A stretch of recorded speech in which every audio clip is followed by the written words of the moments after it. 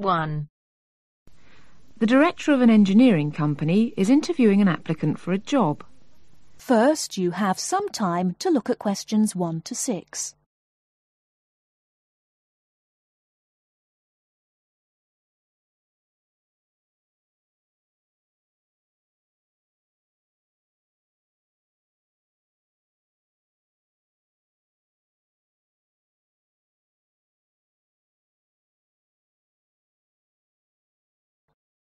Now we shall begin.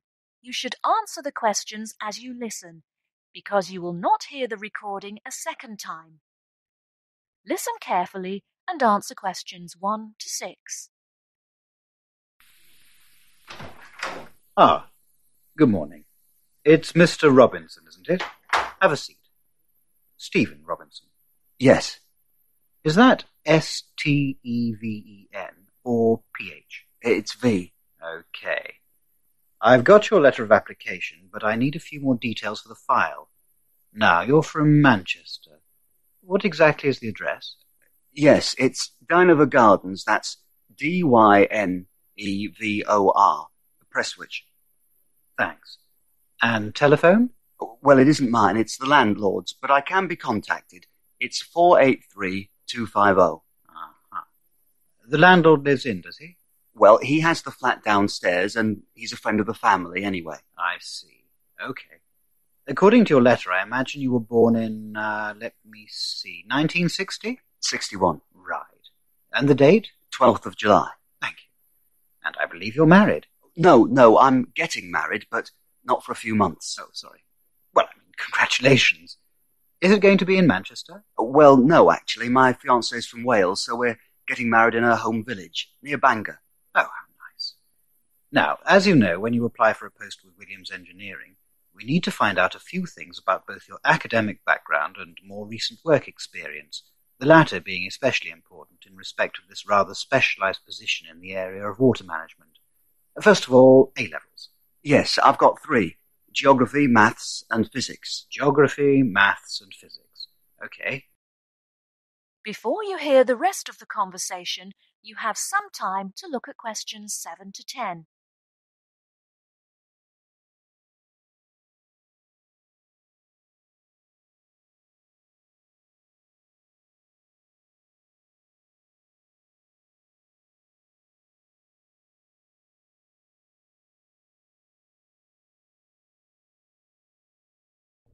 Now listen and answer questions 7 to 10.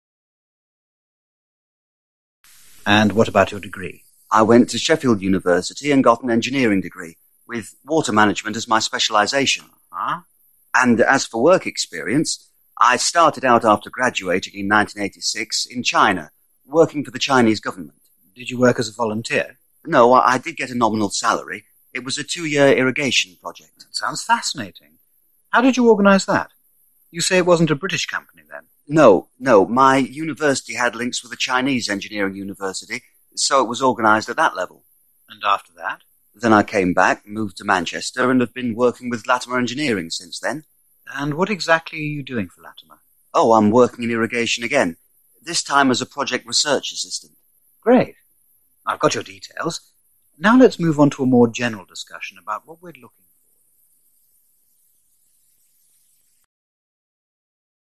That is the end of part 1. You now have half a minute to check your answers.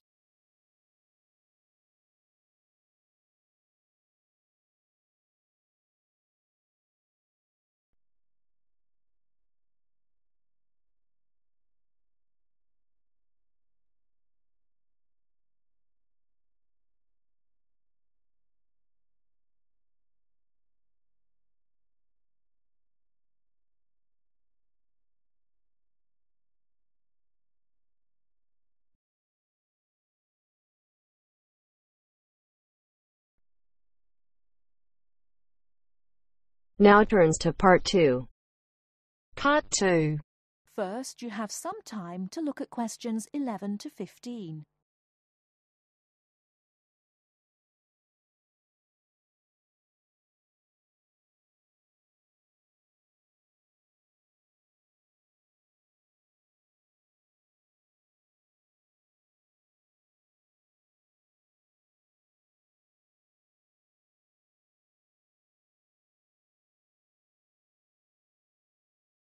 Now, listen carefully and answer questions 11 to 15. Hello, Tom. Hello, Anne. What have you been doing? Oh, just sitting around, catching up with some reading. I've had a great time. You know, we're doing this assignment on. What is it? Museums, their costs and benefits. That's right. Well, I've been to the Sandgate Museum. It was really good. These local museums are really interesting because they connect people with the history of one special place. We all know about kings and emperors and battles and wars, but local museums tell us about the everyday lives of ordinary people, and that's why they are so important. I'm not so sure about that. I think they are of interest, but they're so small that they can't give a true picture. They do their best. I don't really agree. They do give a true picture, but perhaps not a full picture. It's the truth, but not the whole truth. I think the smallness is the number one problem. Because they're small and local, they attract few visitors. That's why they have so little money. And because they have little money, they can't buy or maintain many really interesting exhibits. As a result, the shop is almost as big as the museum to try to raise money by selling souvenirs, postcards, sweets, and so on. I think they find it difficult, but not impossible. And don't forget, they get a lot of their exhibits free from local people. There was this boat, for example, that was fantastic. Really? What was that? There was a massive fishing boat, a real one, about a hundred years old, and you could walk on it and get the feeling of what fishing in those days was really like. Hmm, sounds quite good.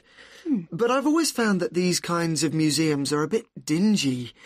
For example, the display cabinets are so dark that you can hardly see the exhibits, and the labels are sometimes difficult to read.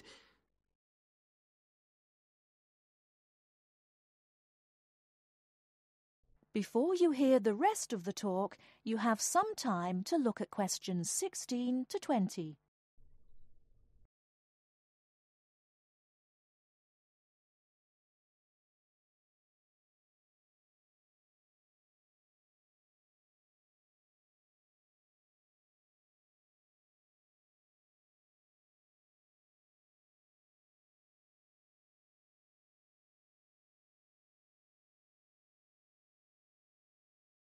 Now listen and answer questions 16 to 20.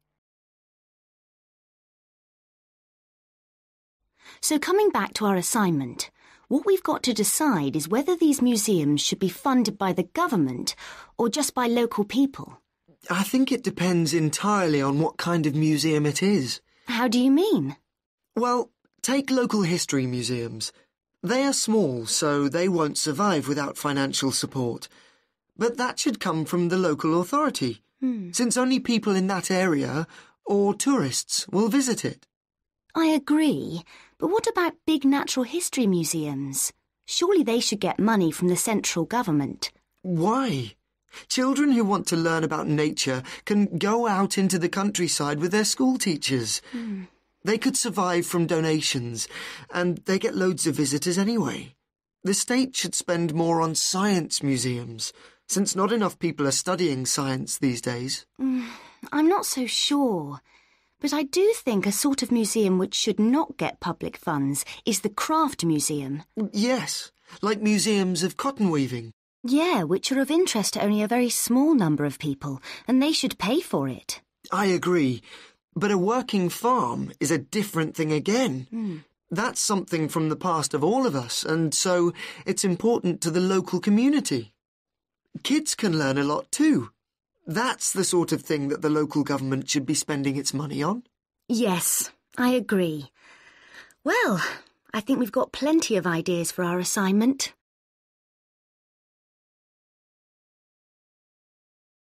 That is the end of part two. You now have half a minute to check your answers.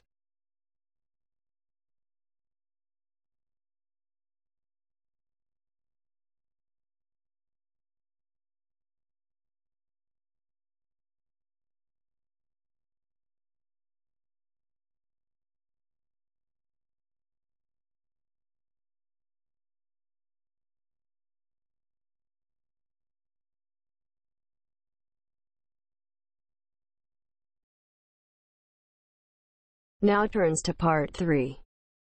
Part 3. First, you have some time to look at questions 21 to 26.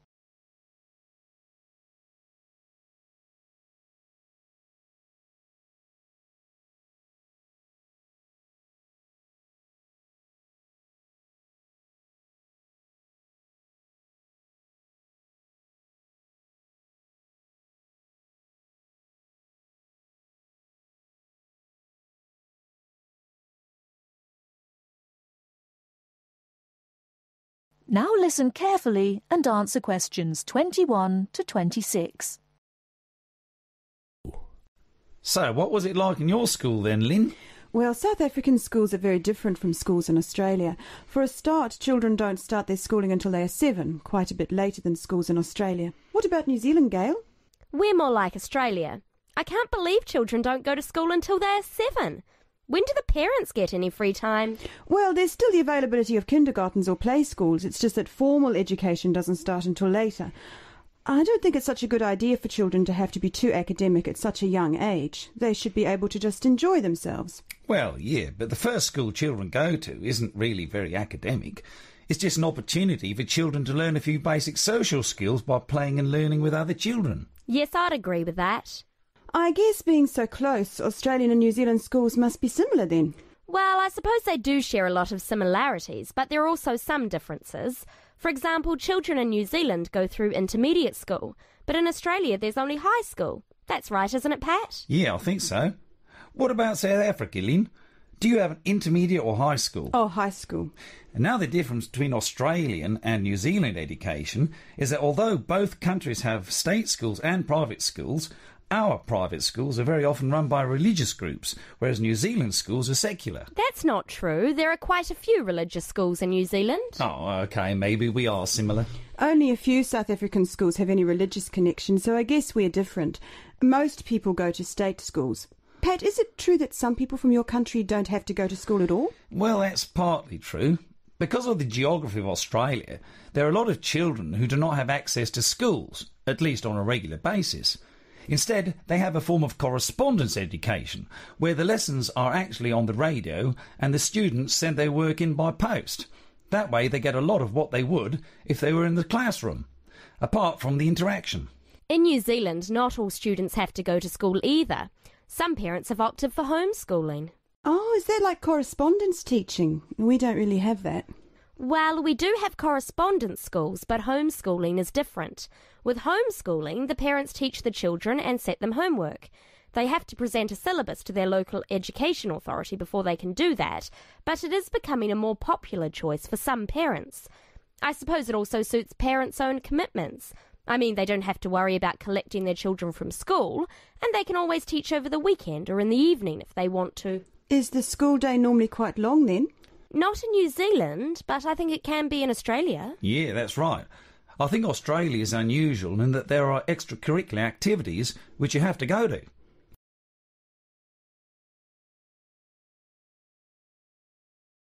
Before you hear the rest of the talk, you have some time to look at questions 27 to 30.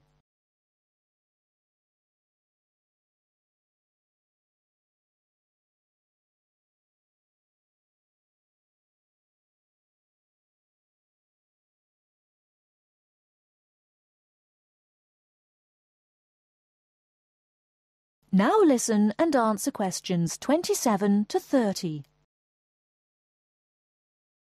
These are normally sport activities, but there are a few other options. We have activities after school for any student that is interested, but they aren't compulsory. What about in New Zealand, Gail? I had to do some sport every week. I didn't really like it, but it was part of the school day, so I guess that's not so bad.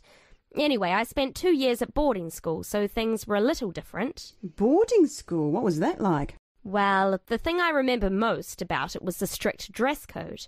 There were restrictions on everything. You had to wear a school uniform almost all of the time, and it had to be cleaned and ironed.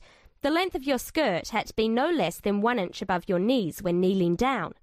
Sometimes we used to go out on school trips or just at weekends with a few friends, but whenever we were outside the school, we had to wear a hat. There was one teacher who always used to give me extra homework because my socks weren't pulled up. and that was in the school late in the evening. I suppose it wasn't that bad, but at the time it felt like a prison.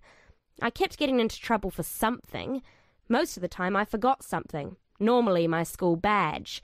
We had to wear that all the time, in the school and out, because it had our house colours on it. Wow, that doesn't sound like much fun. No, but it was a good education, I suppose.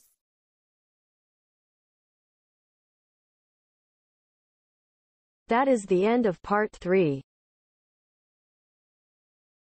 You now have half a minute to check your answers.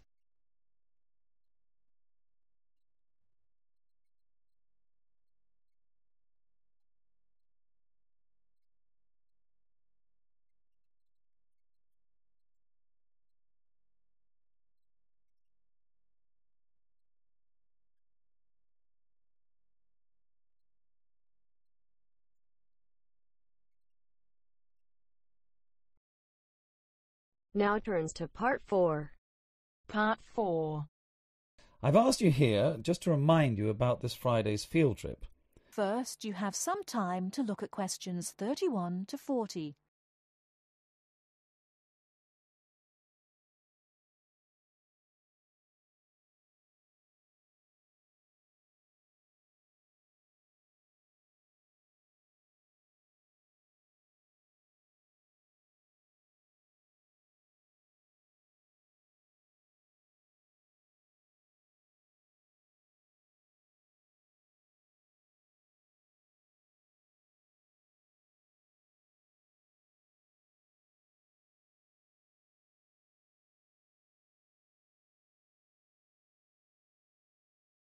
Now listen carefully and answer questions 31 to 40. Okay, I'd like to keep this meeting as brief as possible, as I'm sure we all have things to do. I've asked you here just to remind you about this Friday's field trip. This is the first of many field trips you'll be going on, so there are a few rules I'd like to make clear now. Most importantly, I want you all to remember that simply because you are leaving the college does not mean that you are not studying. This is an essential part of your course and should be treated as such. There will be two assignments for you to complete whilst you are there, and some extension work you will be expected to do over the weekend, so I suggest you all pay attention on the day. Moving on, remember that we are going to a salt marsh and must dress appropriately. High heeled shoes and t shirts are not what I consider appropriate. You need good footwear, preferably boots, and you should bring a waterproof jacket as the weather is unpredictable. It would also be a good idea to bring a change of clothes. There is a chance you will get wet, and a three hour return journey in damp clothes is nobody's idea of fun. We will be on the marsh from about 10 o'clock to about 4, so you will be given a light lunch. However, if you want to bring any snacks with you, then please feel free to do so, although we will be stopping for dinner on the way home. Now, this is the fourth time the college has been to Park Drive Saltmarsh, and so far we have never lost a student. However, remember that there are 28 people going, and if you are late, you will be keeping myself and your colleagues waiting, and at that time in the morning you will not find me very forgiving. Please try to arrive a few minutes before seven. If you are not here on the hour, you risk being left behind. For those of you who are being collected in the evening, you can expect to be back here between 8:30 and 9 p.m. But do warn whoever may be coming for you that the traffic is unpredictable and it may well be later. Before you go, I'll hand out your assignment papers and briefly explain what you have to do. Now, on the first page, all you are required to do is identify the flora and fauna on the page and find an example in the salt marsh. As I told you on Monday, you will need a camera for this. I recommend one of those disposable cameras rather than something more valuable, as the marsh can get very dirty. Now, on page two, you'll be looking more at the bird life on the marsh. You should be able to see what you have to do for this assignment, but there will be plenty of time on the way there to ask any other questions. Well, we'll stop there, and I'll see you all on Friday morning. Oh, before you go, just a word of caution. The plants are there to be seen and photographed only. Remember that this is a protected site, and we will have to get permission for this trip. If there are any problems, we may not be allowed to go again, and you will be spoiling the opportunity for other students. Okay, if you have any questions, come and see me later today or tomorrow. That is the end of part 4.